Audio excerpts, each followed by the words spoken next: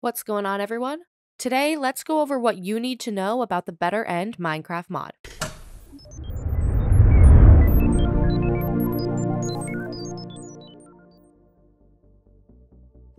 The end is part of every player's game eventually, and if you've ever found it dull, then the Better End mod is about to change that. This mod is going to give you tons of new biomes, mobs, and more when you make it there. With no more empty lands or lack of action, let's go over how to install it first, and then we'll get into more of what it offers. First, head to Better End on CurseForge and press Files near the top to view all of the available downloads, and then you can scroll down and find the version that you want to play on. After you do that, press the download button to the right hand side, and then save this file somewhere easy to get to in just a minute. After that, you're also going to want to do the same thing for the matching versions of Fabric API and BCLib.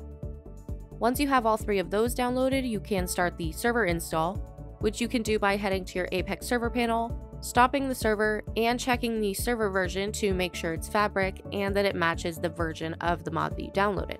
After that, head to FTP File Access in the left hand menu, and then find or create the mods folder and enter it.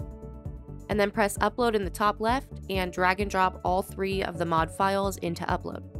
Once they're 100% done, use your server name at the top of the page to return to the main panel, and then you can restart the server. Finally, to install it on your client, you have to first make sure you have Fabric downloaded on your system. After that, open your Minecraft launcher and enter the Installations tab, and then hover over your Fabric profile and press the Open Folder icon. In the new window, create or find the mods folder, enter it, and then paste Better End and the two dependency files here. After that, just return to the Minecraft launcher and press play to start the mod. To get started, you are of course going to need to reach the end as usual. Just find your portal and then jump through to challenge the Ender Dragon. Immediately, you're going to notice some differences, such as the obsidian pillars now having much more detail. But before you can take a look at the new dimension, take out the crystals and slay the Ender Dragon to unlock the End Gateway.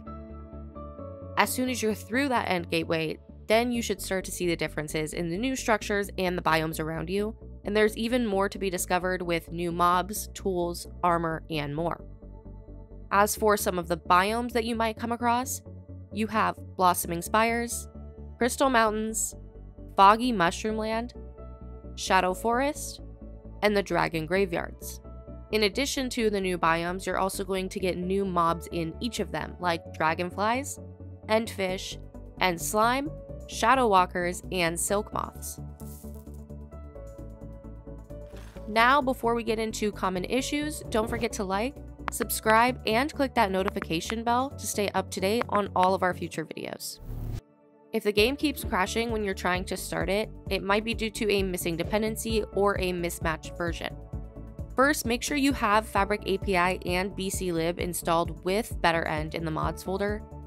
And if you do, make sure they're all using the exact same version of Fabric. If you get an error when joining the server, it could mean that the mod is running on the server but not on your own game. Make sure all of the mod files have been installed into your local mods folder in the Minecraft launcher and that you're launching the game through your Fabric profile. Other than that, that is a quick look into the many new additions with this mod.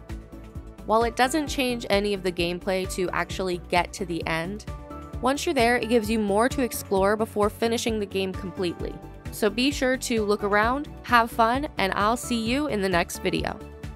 Thanks for watching. If you want to see more great content like this, then subscribe or click these videos. Until next time, gamers.